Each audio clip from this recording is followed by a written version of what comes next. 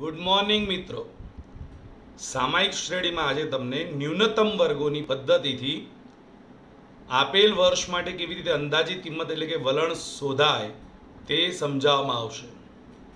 સૌપ્રથમ તમે જોઈ શકો છો કે ઓગણીસો પંચાણુંથી માંડી અને બે હજાર બે સુધીની નફાની માહિતી લાખ રૂપિયામાં આપેલી છે.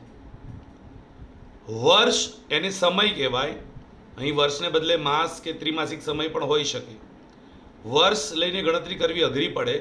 પરિણામે વર્ષ એટલે કે સમયને બદલે ટીની વેલ્યુ એક, બે, ત્રણ, ચાર, પાંચ, છ, સાત, આઠ, એમ ક્રમમાં આપેલા વર્ષો માટે ટીની વેલ્યુ લેવામાં આવશે વર્ષને બદલે.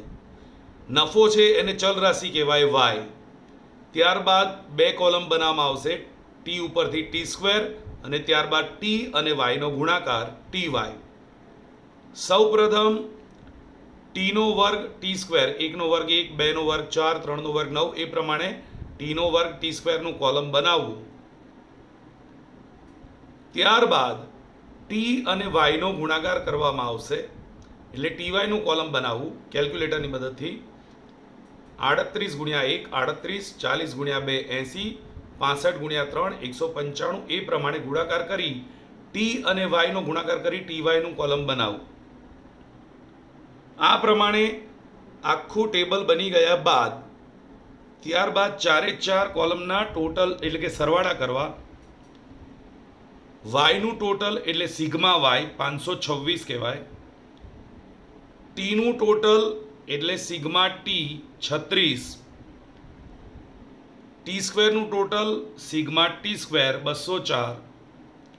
અને ટીવાયનું ટોટલ સિગ્મા ટીવાય બે હજાર છસો ને પંચોતેર. આ પ્રમાણે ટેબલ બનાવ્યા બાદ સ્ટેપ નંબર એકમાં વાય બાર અને ટી બાર બંનેના મધ્યક શોધવા. વાય બાર બરાબર sigma Y upon N, sigma Y છે પાંચસો છવ્વીસ અને એન એટલે વર્ષોની સંખ્યા કે સમય જે પણ આપ્યો એની સંખ્યા આઠ, પાંચસો છવ્વીસ ભાગ્યા આઠ, પાસઠ પોઈન્ટ પંચોતેર. અને ટી બાર બરાબર sigma T upon N, sigma T છત્રીસ છે એન આઠ છે તો છત્રીસ અપોન આઠ, ચાર પોઈન્ટ પાંચ. આ પ્રમાણે વાય બાર અને ટી બાર મેળવી લીધા બાદ સ્ટેપ નંબર બેમાં બે અચળાંક કિંમત શોધવાની હોય છે. બી અને એ બી બરાબર સૂત્ર N sigma T Y minus sigma T into sigma Y upon N sigma T square minus sigma ટીનો whole square ફરી એકવાર બી બરાબર N sigma T Y minus sigma T into sigma Y upon N sigma T square minus sigma ટીનો whole square બનાવેલા કોષ્ટકમાંથી એમાં માહિતી મૂકવાની. N બરાબર આઠ સિગ્મા ટી વાયનો સરવાળો બે હજાર છસો પંચોતેર માઇનસ સિગ્મા ટીનો સરવાળો છત્રીસ સિગ્મા વાય એટલે વાયનો સરવાળો પાંચસો છવ્વીસ અપોન એન આઠ સિગ્મા ટી સ્ક્વેર એટલે ટી સ્ક્વેરનો સરવાળો બસો ચાર માઇનસ સિગ્મા ટીનો હોલ સ્ક્વેર એટલે ઉપર જે સિગ્મા ટીની વેલ્યુ છે છત્રીસ અંશમાં એનો વર્ગ.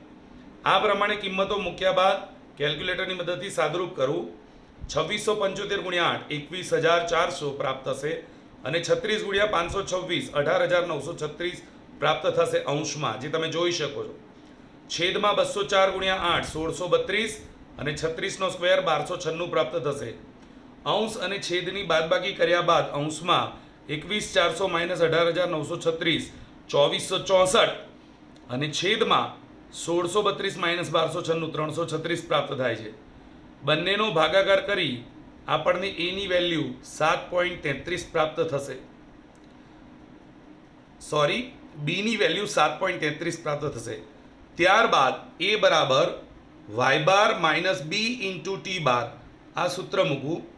જેમાં વાય બાર બરાબર પાસઠ પોઈન્ટ પંચોતેર minus B into T bar. બીની વેલ્યુ સાત પોઈન્ટ તેત્રીસ અને ટી બારની વેલ્યુ ચાર પોઈન્ટ પાંચ. આ બંનેનો ગુણાકાર કરવો. પાસઠ પોઈન્ટ પંચોતેર માઇનસ સાત પોઈન્ટ તેત્રીસ અને ચાર પોઈન્ટ પાંચ. બી અને ટી બારનો ગુણાકાર બત્રીસ પોઈન્ટ નવ્વાણું. હવે બંનેની બાદબાકી કરતાં એ બરાબર બત્રીસ પોઈન્ટ છત્રીસ છોતેર થશે. એ બરાબર બત્રીસ પોઈન્ટ છોતેર, સેવન સિક્સ પ્રાપ્ત થશે. બી અને એ મેળવી લીધા બાદ હવે સ્ટેપ નંબર ત્રણ, જે છેલ્લું સ્ટેપ છે, તેમાં સુરેખાનું સમીકરણ મૂકવું. કેપ ઓફ વાય બરાબર A plus BT cap of Y બરાબર એ પ્લસ બીટી જેમાં એ અને બીની વેલ્યુ મૂકો.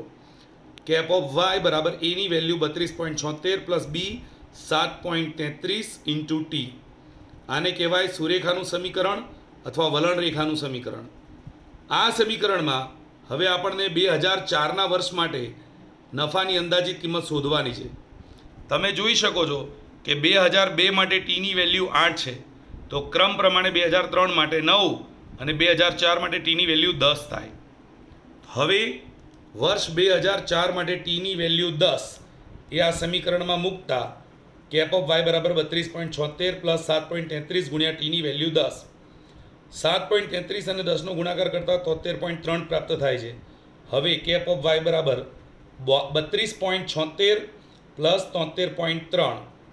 બત્રીસ પોઈન્ટ છોતેર પ્લસ તોતેર પોઈન્ટ ત્રણ, એકસો છ પોઈન્ટ ઝીરો છ લાખ રૂપિયા.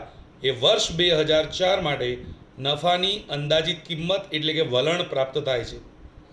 આ દાખલાનો બે વાર અભ્યાસ કરવો અને તમને પીડીએફમાં જે દાખલા મોકલવામાં આવે તે ગણવા પ્રયત્ન કરવો.